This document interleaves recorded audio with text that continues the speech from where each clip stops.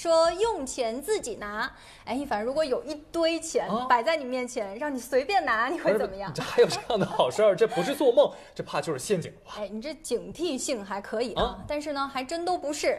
就在成都，有人把钱放大马路上，让你自己拿，上限是五元，限量啊，不限流。这五块钱呢，虽然不多啊，但人这一人过来拿五元，这也不少啊，够豪。估计呢，不少人也得合计合计，我啥时候我这腰包啊才能鼓到有这么有底气呢？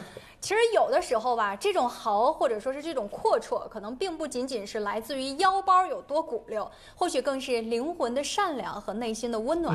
我说的这个用钱自取啊，其实就是大家现在看到的我身后大屏幕上的爱心钱盒的招牌。最近呢，在成都街头出现了这样一个爱心钱盒，里面呢堆满了一块钱的硬币，加起来呀大概是有六七百元。上面的展板上啊，手写着一行字：“信任是种快乐。”这个爱心钱盒的主人呢叫刘本福，今年三十一岁了，是成都崇州市一家小珠宝店的店主。年轻的时候呢，他只身一人去外地打工，那个时候他心里想的就是，如果能有一两块钱买点吃的也好啊。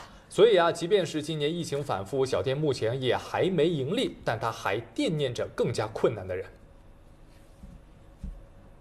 十几年的时候，然后我自己也遇到过同样同样的事情，亲身经历，然后遇到过困难啊那些。当当时，只要对我来说，一块钱是都是都是非常重要的。所以说，到现在了，嗯，我又想做些这些事来帮助更多的人。这爱心钱盒也放了一段时间了，不过让人意外的是呢，这里的钱竟然越放越多了。之前全是硬币的盒子里多了几张纸币，有五块的、十块的，这些呢都是路过的人自发捐赠的，只为尽一份心。而对刘本福而言呢，做这些也只是因为从前吃过苦，所以想帮助困难的人。